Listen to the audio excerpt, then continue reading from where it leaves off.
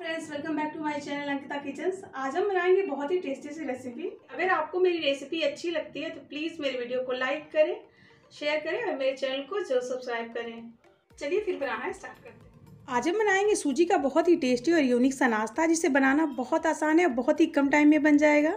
आप इसे बच्चों के लंच बॉक्स में भी दे सकते हैं या फिर स्नैक्स में भी बना सकते हैं। सब्जियों से भरपूर ये नाश्ता बहुत ज़्यादा टेस्टी बनता है। इसे बनाने के लिए हमने यहाँ लिया है कटी हुई सब्ज़ियाँ और दो कप हमने यहाँ ले लिया है सूजी। पूरी नाश्ता बहुत टेस्टी बनता है तो आप एक बार इसे ट्राई कर सकते हैं। इसे बनाने के लिए हमने यहाँ लिया है दो कप सूजी और यहाँ डाल देंगे दो चम्मच दही।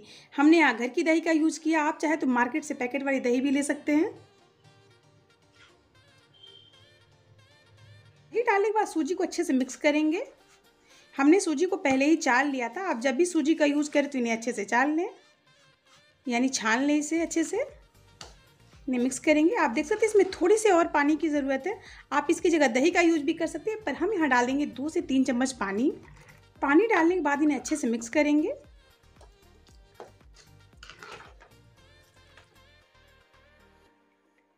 और आप देख सकते हैं, बिल्कुल अच्छे से मिक्स हो गया है। ये पंद्रह मिनट के लिए ढक के रख दें ताकि अच्छे से सेट हो जाए।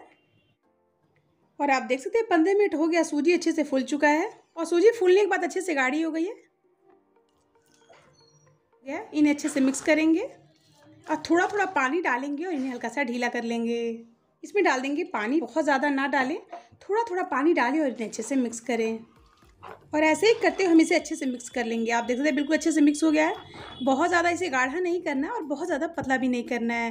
हमें इसका बेटर बिल्कुल ऐसा रखना है ये अच्छे से मिक्स करने के बाद इसमें डाल देंगे वन पिंच हींग आधी चम्मच से थोड़ा सा कम डाल देंगे हल्दी पाउडर नमक आप अपने टेस्ट के अनुसार ही डालें चम्मच से थोड़ा सा कम यहाँ डाल देंगे लाल मिर्च पाउडर साथ ही डाल देंगे थोड़ा सा गरम मसाला साथ ही डाल देंगे थोड़ा सा चिली फ्लेक्स आधा चम्मच से थोड़ा सा कम यहाँ डाल देंगे भुना जीरा पाउडर डाल देंगे जीरा जीरा डालना ऑप्शनल है आप चाहे तो इसे स्किप कर सकते हैं साथ ही यहाँ डाल देंगे एक चम्मच अदरक और अदरक डालने के साथ ही हम डाल देंगे अपनी कटी हुई सब्ज़ियाँ यहाँ हम डाल देंगे हरी मिर्च कद्दूकस किया हुआ गाजर, प्याज, सारी सब्जियों को इसमें हम डाल देंगे। बहुत ज़्यादा टेस्टी बनता है साथ ही बहुत हेल्दी होता है।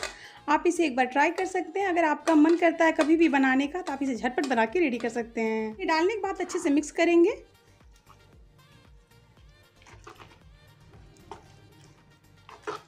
और आप देख सकते हैं मिक्स करने के बाद थोड़ा सा ये और ज़्यादा गाढ़ा हो गया थोड़ा पानी हम इसमें और ऐड करेंगे। पानी ऐड करने के बाद आप इन्हें अच्छे से मिक्स कर लें।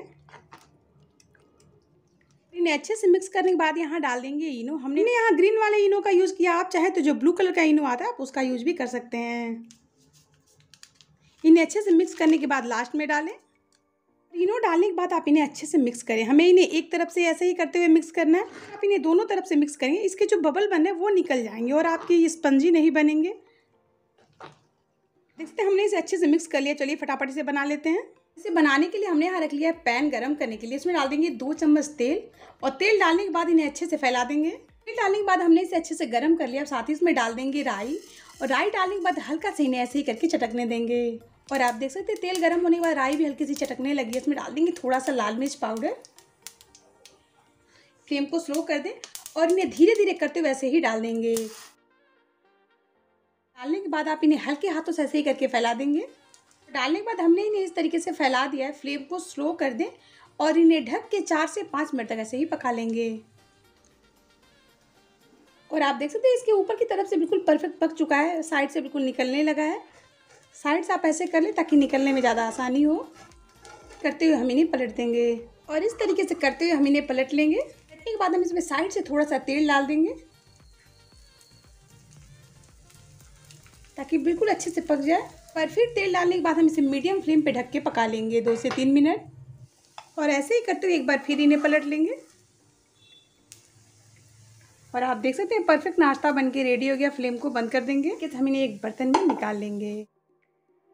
करते हुए हम अपना सेकेंड भी बना लेंगे। आसान है, आप इसे कभी भी ट्राई कर सकते हैं। ज़्यादा टेस्टी और स्पंजी बनता है। इन्हें सर्व करने के लिए हम ऐसे ही करके कट कर लेंगे। इन्हें कट करने के बाद आप इस तरीके से सर्व कर सकते हैं।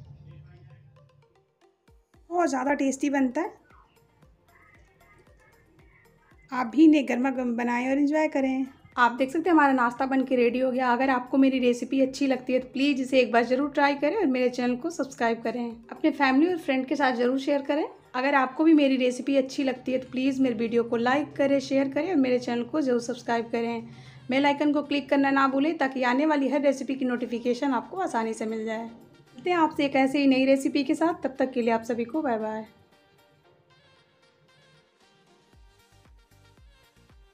आप इसे गर्मा गर्म चाय के साथ इंजॉय कर सकते हैं।